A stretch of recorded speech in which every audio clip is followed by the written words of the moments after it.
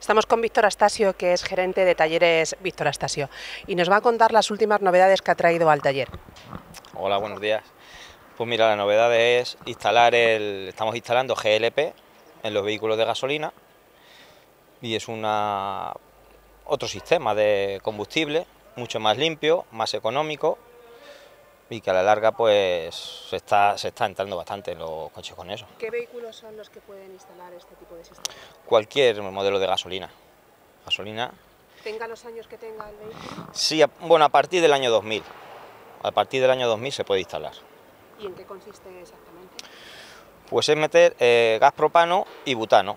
En los coches se, se acopla un depósito que suele ir en el hueco de la rueda de repuesto, se pone, y luego una instalación se recarga con gas y el beneficio pues que el gas está a 0,64 y la gasolina pues está a unos veintitantos, más limpio, contamina menos, el ahorro es considerable y pues... Eh... Al instalar este sistema de GLP, el, el, sistema tradicional de gasolina, ¿queda anulado o...?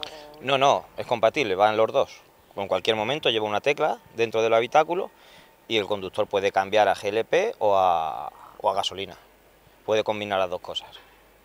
¿Qué otros beneficios tiene este sistema en cuanto a tráfico en algunas ciudades? Pues por ejemplo en Madrid, que estamos viendo ahora en el centro de Madrid, las matrículas pares, las impares, pues con este, este tipo de combustible puede pasar a cualquier sitio.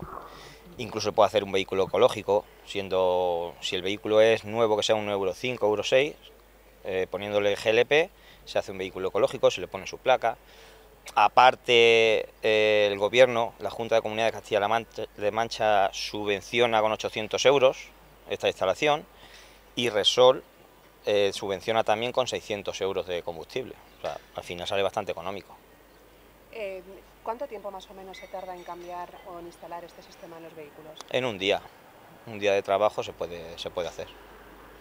Está, está bastante bien. Es, siempre tiene que ser en vehículos de gasolina todos los vehículos de gasolina se puede hacer. A partir del año 2000 para acá se puede hacer en todo. ¿El rendimiento del vehículo nota algún cambio? No, exactamente lo mismo. Conduciendo con GLP que conduciendo con gasolina. De hecho, se ha hecho la prueba cuando lo instalamos. Eh, vas en GLP, le das a gasolina y el rendimiento, la potencia es la misma. Igual, todo igual. ¿Dónde puede repostar el vehículo que lleve instalado este sistema? Pues ahora mismo aquí en Valdepeñas el surtido que hay lo llevan el grupo Ayuso Valle y está en la carretera del Moral carretera de Ciudad Real, ahí se podría reposar. ¿La variedad de sitios donde se puede cargar eh, es amplia? O sí, ahora mismo eh, casi todas las gasolineras de Resol tienen su, su surtidor de GLP. De, hecho hay una página, lo metes en el móvil y te sale el mapa en todos los sitios donde está GLP. En Manzanares hay, en Alcázar, en Santa Elena, en Santa Cruz de Mudela, en casi todos los sitios tienes.